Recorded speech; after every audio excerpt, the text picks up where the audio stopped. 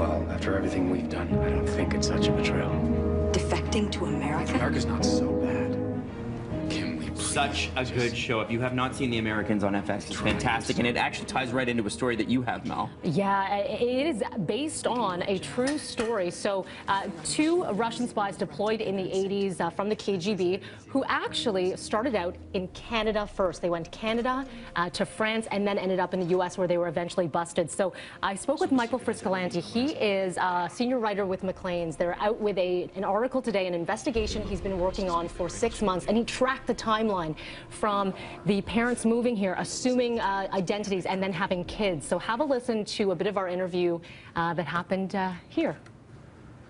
Late 1980s, the KGB uh, deployed these two uh, people, a husband-wife team, and when they came to Canada, they assumed the identities of two dead children, uh, Tracy Leanne Foley and Donald Heathfield. And their job in Canada was to become those people. They had the fake IDs, so they were trying to build the so-called legend, as it was as it was known.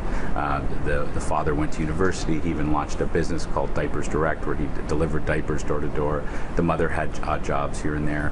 Then they had two boys who were born in Canada, so by the time they were here for the seven years, no one had any reason not to believe they weren't who they say they were, these Canadian citizens. And the boys, as babies, obviously were considered Canadian citizens mm -hmm. because they were born in Toronto.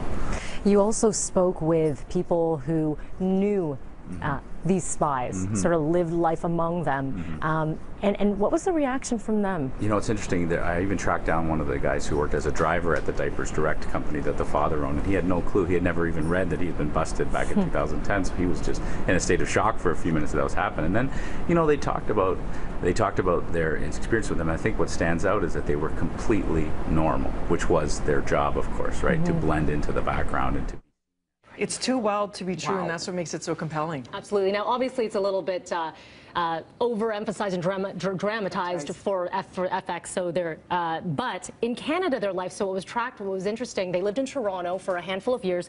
The key to this story is Alex and Tim, who are the sons who were born in Canada, who are now in their 20s. Um, they got their citizenship taken away because the Canadian government said your parents technically worked for uh, a foreign government. So uh, they were employees of a foreign government. Therefore, you were never actually Canadian citizens, even though you were born in Canada. Wow. So they are fighting uh, for their citizenship right now. So uh, what's interesting is that uh, there's so much more to this. I really want to show you. More. I've got a full story running tonight on City News at 5 and 6, and then macleans.ca for even more information on this one. It's pretty incredible. I cannot believe that. That's yeah. amazing. Okay, we'll be watching that tonight.